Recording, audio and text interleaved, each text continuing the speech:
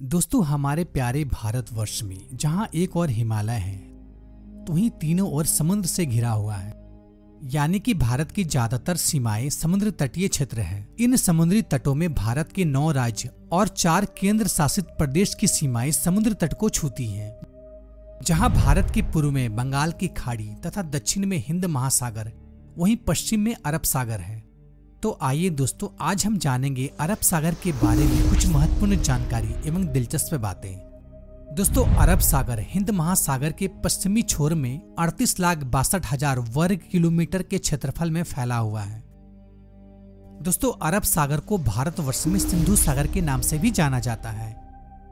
वहीं प्राचीन काल में अरब के कुछ लोग इस सागर को भारत के सागर के नाम से भी जाना जाता था। दोस्तों, अरब सागर भारतीय उप महाद्वीप और अरब के क्षेत्र के बीच हिंद महासागर का ही भाग है।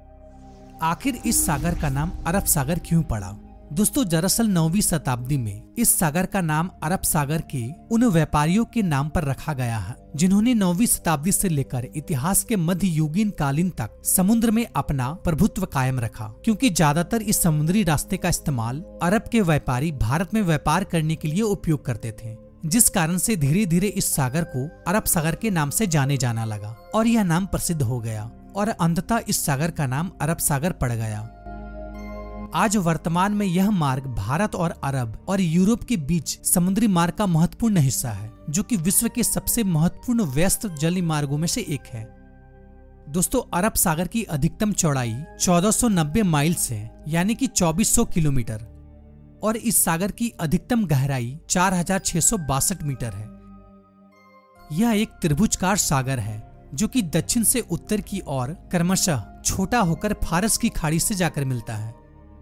दोस्तों जहाँ अरब सागर के उत्तर में ईरान पाकिस्तान जैसे देश स्थित हैं, तो वहीं पश्चिम में ओमान यमन संयुक्त अरब अमीरात जैसे कई छोटे देश शामिल हैं। दोस्तों यह सागर पश्चिम में अफ्रीका के कुछ आंतरिक भाग से लेकर अरब के प्रायद्वीप तक उत्तर में ईरान और पाकिस्तान पूर्व में भारत और दक्षिण में हिंद महासागर के शेष भाग से घिरा हुआ है।